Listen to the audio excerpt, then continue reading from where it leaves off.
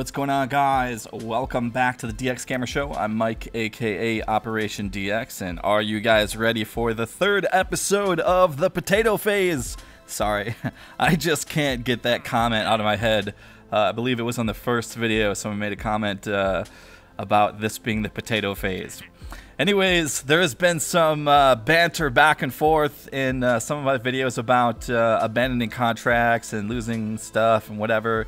It seems like it's procedural, so I'm gonna go ahead and dump one of the contracts that I think that I'll never do, which is a uh, using a solid rocket booster to uh, go on an exit tra trajectory of Kerbin. I don't think I'll ever do that. I've never done that in this game before, so um, here I'm gonna go ahead and just pick up a couple. Uh, when I dumped one of the contracts, I got a contract that uh, is I'm surprised it's a one star rating. It says uh, just fly by the moon. Um, that's no problem. So we're just gonna do something somewhat similar to what we've been building before. I'm just gonna strap on a couple of medium-sized tanks with the LV909. Now, something I noticed about the LV909 in this new version is they had cut back the uh, impulse a little bit. I hadn't noticed this, this before because I'm like, man, I remember I used to get a little more real estate out of those engines, but uh, something doesn't quite seem right because usually you could build like a relatively small rocket and use the LV-909 to get you not only to the moon, but you can land in the moon, take back off, and get back to Kerbin with fuel to spare. Um, it looks like they cut out about 15 ISP out of the engine. I believe it used to be 360 and now it is 345. Sorry if I'm boring you, but uh, this definitely matters. It makes a difference. It makes the game a little bit harder. So when I actually get my mission to go land on the moon, I'm gonna be have to, I'm gonna have to be mindful of that and create a little more powerful rocket. Okay, so one of the uh, other contracts was to use the uh, Thumper solid rocket boosters off the launch pad. So that's essentially what this rocket's to be for. So get uh, in the orbit of the moon and um, use these engines, and essentially uh, that will fulfill the contracts that I essentially just picked up. And then, of course, we still have that other ship in orbit that I need to deorbit. Um, that was uh, the contract that just was orbit Kerbin. So I'm trying to get through some of this stuff quickly. I'm trying to be somewhat efficient. Uh, I don't know. Doing my best here, guys. We'll, we'll see how it all works out. And geez, you know, I just can't seem to get these aerodynamic fins on symmetrically for the life of me. I keep tinkering around with this and they just don't look right to me. But anyways, question for you guys in the comments. So back when I did career mode in uh, 0.22, I pretty much used this similar format. I would build my entire design, my rocket design, so you guys could see how I do everything. And then when we get to the launch phase and maneuver node phase, I would usually speed that part up pretty significantly. I would, of course, slow down the important stuff so you can see how I'm doing certain things. But this seems to be the best format because it allows me to save a lot of time in these videos. Uh, back in the day, like I said uh, in the first episode, my episodes used to be like 45 minute long, 40, 40 45 minutes long, and uh, I think that's just I don't know. I don't like to do those long uh, videos anymore, so. I try to keep these within the, like I said, 15 minute range. I hope you guys are okay with that. Anyway, as usual, I ramble on there, but uh, yes, my question to you guys is do you like this format? Is this time frame cool with you guys? Do you like this length of episode and all that good stuff? Go ahead and let me know what you think in the comments. Most of you guys are like, do whatever you want, DX, and uh, that's just fine and good and all. Uh, I'll pretty much continue doing what I'm doing.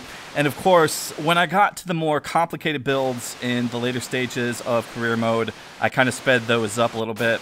But I don't know, I can I can slow that down. It's just going to make the episode length um, a little bit longer or less stuff is going to be shown. I like to show a lot of stuff in the episode. So, for example, right now we have uh, a second craft going up into orbit. One needs to deorbit, and then I think I'm going to actually pick up a couple of contracts right after this. Anyway, here you kind of see what I'm talking about with the LV909. I've almost burnt through more than half of my fuel there, and I still have to do my ejection burn to get to the moon and uh, there's no way I would be able to build a similar craft in order to uh, land on the moon and get back home. And if I did, it would be just so close of like not having enough fuel. So I'm gonna have to rethink the basic design. But essentially, last time I would probably be able to just use the same design. I would probably sub out the uh, Thumper solid engine boosters for some liquid uh, engine boosters. Probably put an LVT 45 in the middle, LVT 30s on the sides, and do something like that. But I'm probably going to have to add a third stage. But, anyways, if you missed it, I picked up another two contracts, and these contracts essentially are to ferry some Kerbals into a suborbital flight and bring them back safely. However, we haven't unlocked any of the passenger compartments, and these would essentially probably expire before I was able to unlock those things. But I figured, eh, this is a easy 26,000 credits or whatever, as long as I made a relatively cheap rocket and I get some money back and get some fame. And I don't know if I can play with that fame to get a little extra money and all that good stuff. So this is pretty much just a simple rocket. Hopefully this will work. Probably gonna have to add a little uh, more, a couple parachutes on this guy to make sure that it doesn't, um, nobody crashes to their doom. Um, but this one's again pretty simple to fulfill a couple of contracts. I could probably there's actually another contract in there with like two more Kerbals that need to be ferried. It's like almost the exact same thing. So on those kind of contracts, what I might do is show like a quick glimpse of hey, I built this same rocket. I'm going to launch these guys up and uh, bring them back down safely. Unless something disastrous happens, of course, I'll show that. But uh, some of that kind of stuff, I might just say that I like I'll show like a couple of clips, but I'll I'll just edit that out, that kind of thing, so you don't have to watch me do the same thing over and over and over and over and over. Um, hopefully, some of the bigger stuff, you know, get into the other planets and stuff, is the more interesting stuff. Um, landing some rovers, kind of looking forward to that. And then, of course, they added a mining system, which I can't wait to get to, but that's so late down the tech tree that uh, it's gonna be a while till I get to that stuff. Um, I can't wait till I get my lab so I can just start generating science. That is uh, definitely a helpful thing. But in the potato phase, I still can't get that out of my head. All right, so we're going to launch these guys up into orbit. And this time around, um, both of my pilots are in orbit. So, oops, I actually forgot to put my um, passengers on board.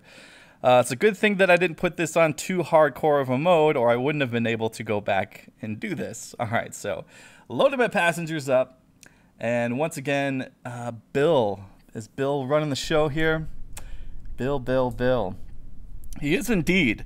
And this is going to make this flight a little more interesting because I can't use SAS, so I have to really stay on top of it. You, you already noticed that I'm like slipping all over the nav ball. Uh, of course, I'm going to speed this up. And I also forgot to put aerodynamic fins, so there's a good chance this rocket could do a couple of flips. Typically, they would do a flip if uh, you don't stay on top of the nav ball. I'm usually pretty good.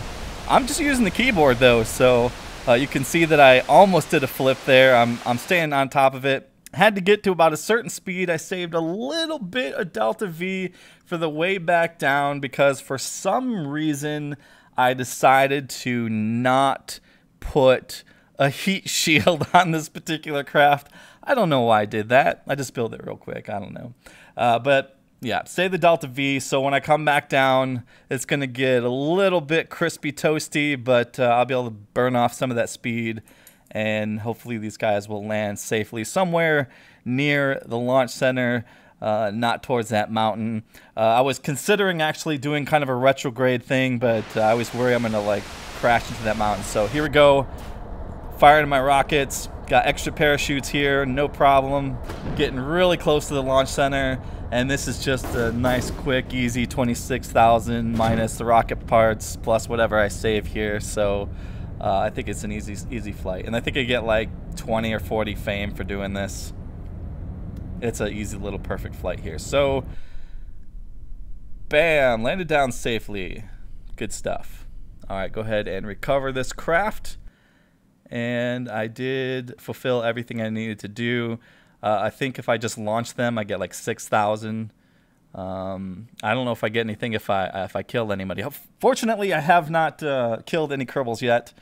Um, but again, it may come. I, I don't want to edit that stuff out too. Like if I mess up, I want to like spectacularly mess up, and I want to keep all that stuff. So definitely want to show that. It makes things more interesting, anyways. All right, so okay, that was my Thumper contract. So all of that is fulfilled.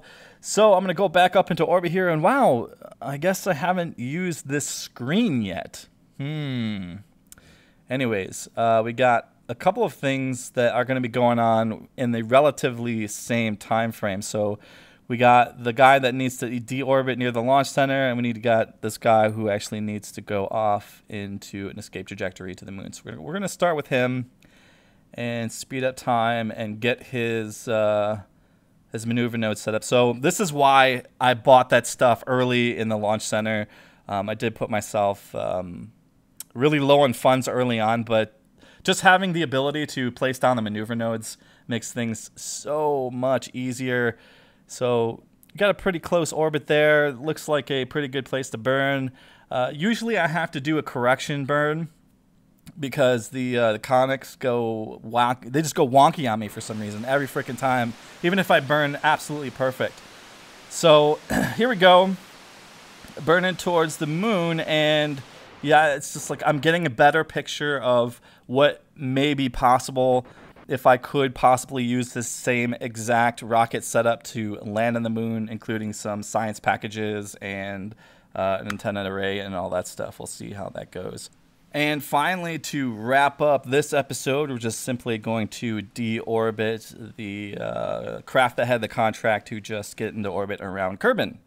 And so I'm pretty much just chewing up the rest of my LV 909 fuel just to get as close as I can to the launch center. I knew I wasn't going to be able to because the timetables between those two craft was a little too tight, so it uh, it's not too bad. I think that as long as you get somewhat close to the launch center, there's no big penalties.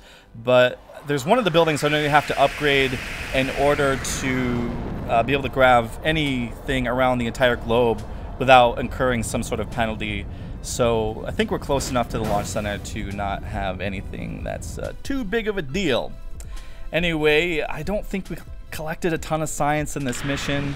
Uh, we just got like some hundred thousand of funds, which will be helpful.